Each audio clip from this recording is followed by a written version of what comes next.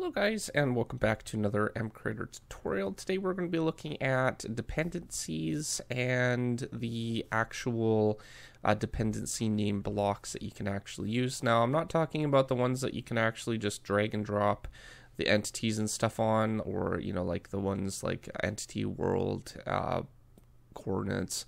Uh, I'm talking about specific ones that aren't actually in the list that you actually create uh, these special blocks for, and then you basically put them in to your script. And basically, with some things like custom blocks like this one, what you can do is you can basically get the hit position and you can tell what corner of the block and stuff you click on.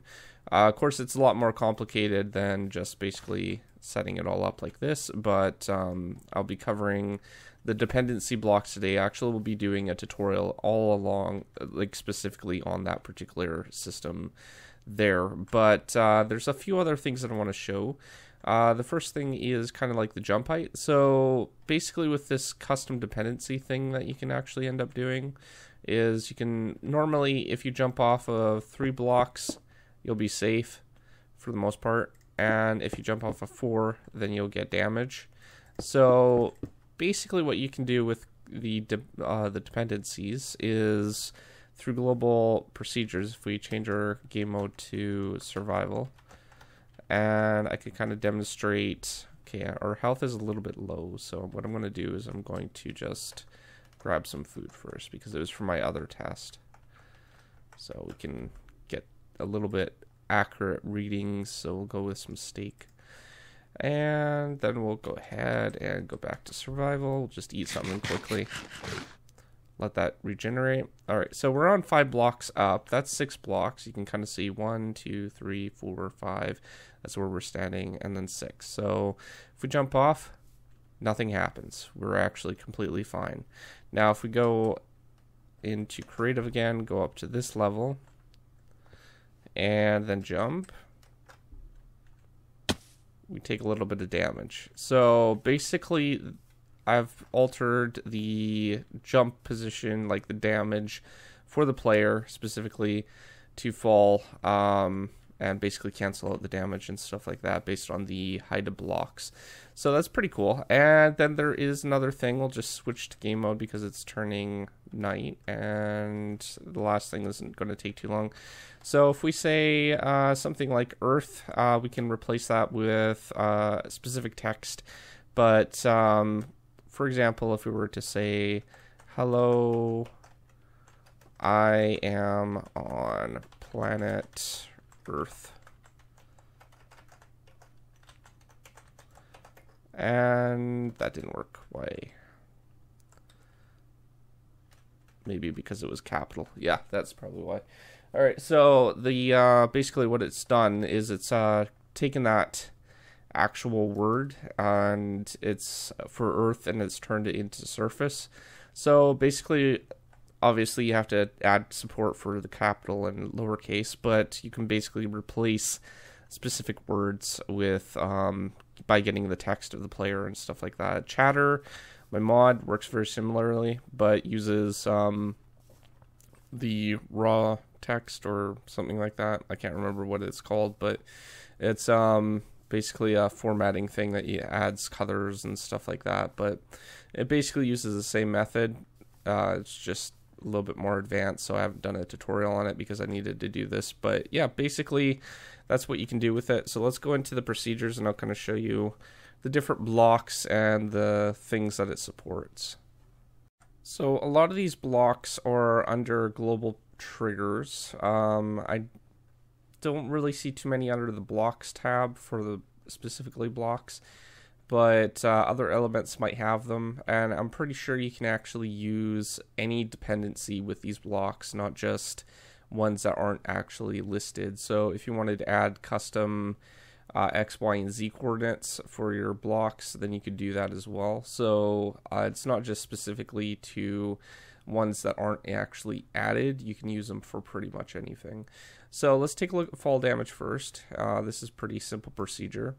So under the entity falls uh, global trigger, what we're doing is we're testing if the entity is a player, and then we're getting the distance. So distance, if you look over on the left hand side or right hand side, pardon me, uh, there is a couple different dependencies that it basically lists uh, damage multiplier and distance. So those aren't actually blocks that you can actually grab from the list, but you can add them through the advanced tab.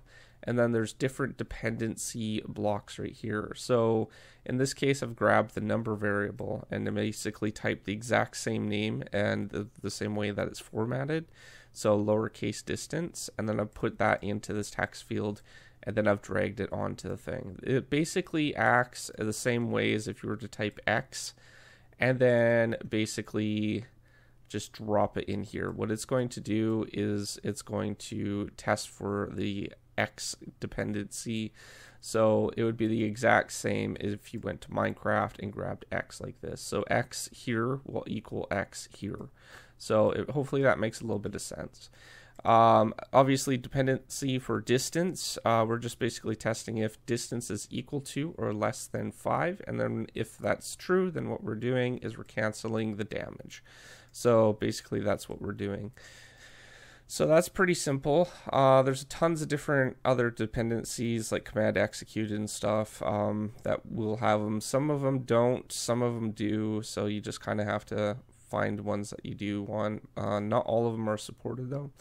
The player sends text, uh, very similar. Player sends chat, which is the dependency name. And then what I've done is I've does text, which is the dependency for basically getting the the actual output for the player's message from chat. Uh, it contains Earth. So basically, Earth is lowercase. That's why it was not working with the capital. And then what I'm doing is if this is true, then what it's going to do is it's going to cancel the um, the actual message. So it's going to prevent that message from even being shown. And then for each entity, uh, through the basically the um, this uh, particular block here, what I've done is I've just printed a message out to each player. Um, using this particular block right here, the same as that one. And I've given the, the display name, which basically just lets people know who posted the message. And then a colon so people know which person or just kind of like an ending. It's not exactly the same format as the vanilla code, but that's okay. And then all I've done is I've basically replaced earth with surface and then on text. So basically when text and text. So these are two things that are the dependencies, right? So we're just going to put it in to text, and then it's going to be creating uh, actual text with this, and it's going to be printing out that message. So hopefully that makes a little bit of sense there. And then we have that last block one. So let's take a look at the block. If we go into the block dependencies for triggers, you can see some of the blocks have a couple different interesting um, dependencies. Like for this one, we have hit X, Y, and Z. So those are basically some of the dependencies there. Uh, when block added, we can see that old state and moving. So those are a couple different dependencies that are specific to um, these two blocks. And then we have, I think the other one when projectile hits block, and we can determine the X, the hit X, Y, and Z position. Outside of that, I don't think there's actually too many other dependencies for blocks themselves. It seems to be only those few uh, procedure types. But if we open up the procedure, this is for that right click on the block thing. And as you can see, what I've done is I'm basically printing out the message. This is from testing the thing. This isn't actually that accurate, believe it or not. I'm not sure why the hit position says it's something, but it's not. Um, what I've discovered is it is relative to the axis of the block, so I'm not sure why it says like a higher number on a certain side when it's not. It was weird. I had to actually calculate and make an entire chart. That's why I'm going to be doing a different tutorial on it. But um, yeah, basically what's happening is we're just testing uh, between the, the hit position if it's at the x coordinate, and then we're basically going ahead and determining if the block uh, position is that particular point. Uh, we're using point form because that's what the position of the thing is. And for the point form, what we're doing is we're basically dividing 1 by 16, and then we're getting each pixel. So in this case, what I've done is I've basically just divided the, the block into quarters using 0.5 because that will divide it into quarters. And I'm testing for two different types of faces. Uh, I'm testing for the hit blocks for the Y direction and X direction for the, the actual uh, trigger uh, direction face, which is basically the side of the block that we're right clicking on. So the other one is basically using the little bit similar. This is south, this is X, and then there's west and east, which is using Z and Y.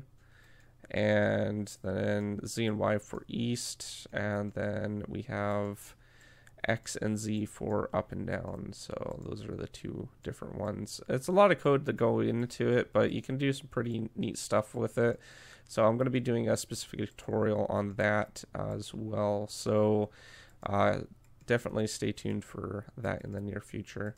But outside of that, that's all the time that I have for today. If you are new to my channel, don't forget to subscribe, comment down below, rate the video, and I will see you guys next time. Thanks for watching. Peace out.